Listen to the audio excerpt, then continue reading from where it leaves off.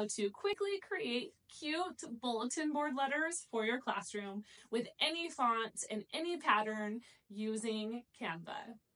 To create bulletin boards for your classroom, it has never been easier than it has been with Canva.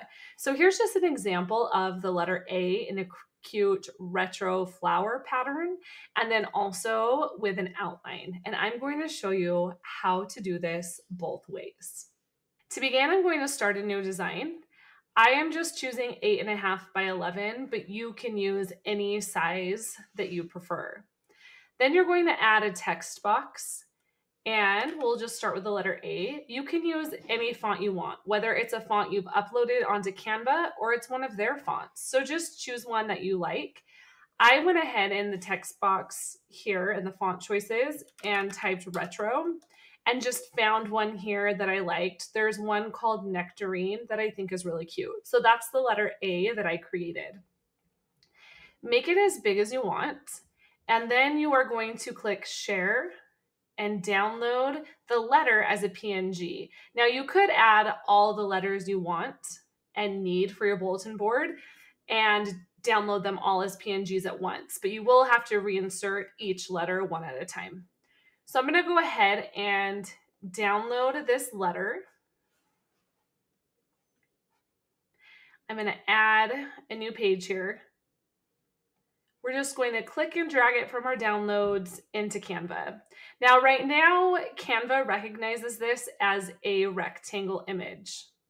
It doesn't recognize the letter A, the outline, so I need to remove the background.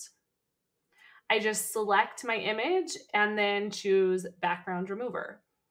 Once the background is removed, we're going to go to apps here on the left-hand side and we're going to look for image to frame.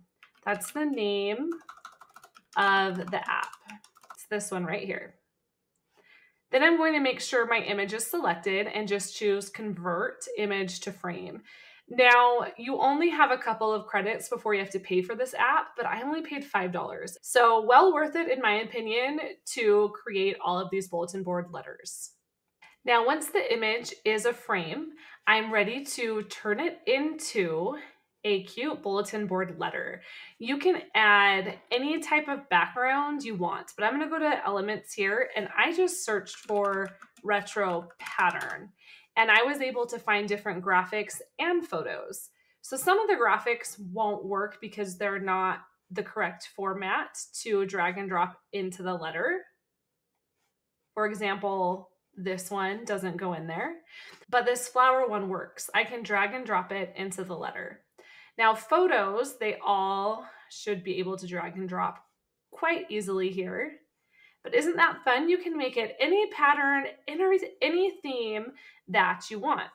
Now, once you have your letter here, if you want it to have a cute border, that's really easy. You're going to add your text box and you're going to type the same letter as your frame. And then you're going to make sure that letter is the same font. So we used Nectarine.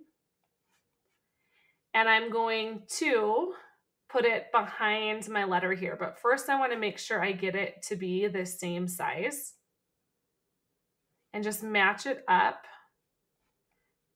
like this. And then you're gonna go ahead and layer it to the back. Then you'll click effects and you're going to add an outline and you can make it any color you want and adjust that letter A frame on top so it fits however you need. Now, if you want, you can change the color of the letter. So I want it to match more here. So I'm going to change that effect. And let's maybe make it this orangey color. And then I'm going to have to make sure I also change the font to that same color so it fills in all the space. But there you have it. Isn't that so fun? You now have a way to make cute different bulletin board letters for your classroom.